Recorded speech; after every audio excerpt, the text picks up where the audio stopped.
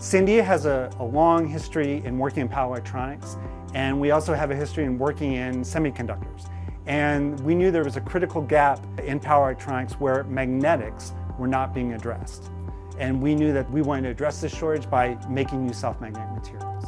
So what people do normally is they, they when they're designing these um, high frequency power conversion system, is they take uh, off-the-shelf units and it's an afterthought. But you need a, a, much better approach, a much more holistic approach to designing the system. And this is exactly what this um, advanced magnetics uh, project does. We have to go beyond the traditional materials, utilizing either silicon or just off-the-shelf um, magnetic materials to, to perform the power conversion system.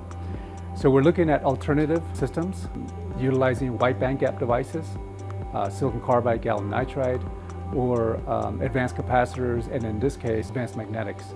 Um, these new materials allow for a much higher density design, uh, much more efficient, and uh, more compatible with, with what you see out there.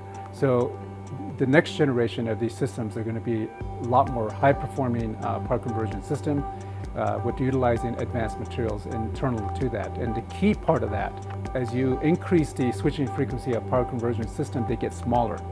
However, as you increase the power conversion switching uh, frequency, things heat up. And especially if you're using wide bandgap devices, you need not only the wide bandgap device to be operating at higher temperature, also the magnetic needs to be at higher temperatures.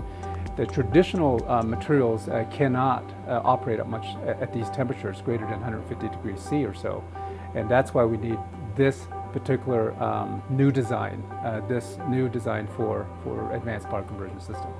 It's a new soft magnetic material called iron nitride.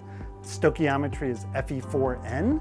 It's made of only iron and nitrogen, so it's a very low cost material. It can be used in power electronics as an inductor, can be used inside a transformer, can be used inside electric motors and electric generators. It can be produced using something called spark plasma sintering, which allows us to do something called net shaping, uh, where we eliminate the need to machine uh, any part after fabrication. Also, our material has very high magnetization, which leads to very high power densities, very small volumes, very low mass in the soft magnetic part.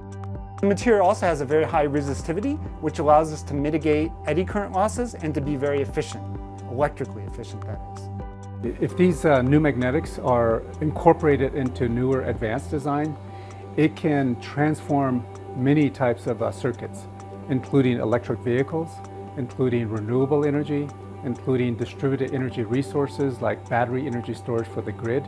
It just makes that a much more efficient device than what we had before.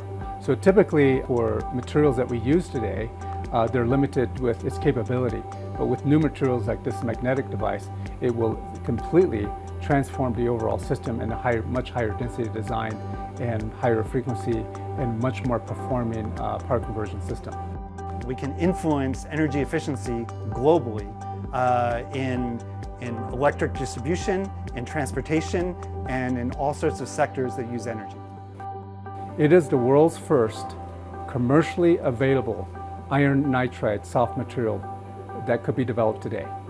And it could transform the next generation of power conversion system around the world.